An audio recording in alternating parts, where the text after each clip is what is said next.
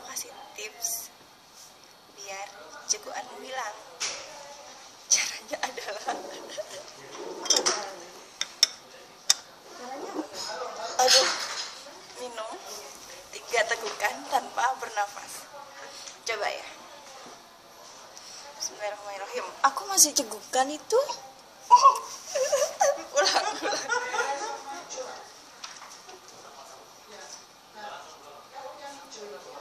Masa sih cekuan sih ya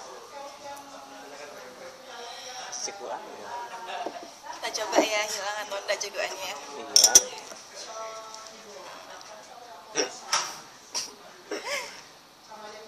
Sepertinya hilang. Tuh, hilang kan? Langsung hilang beneran. Jadi tipsnya kalau kalian cegukan adalah minum air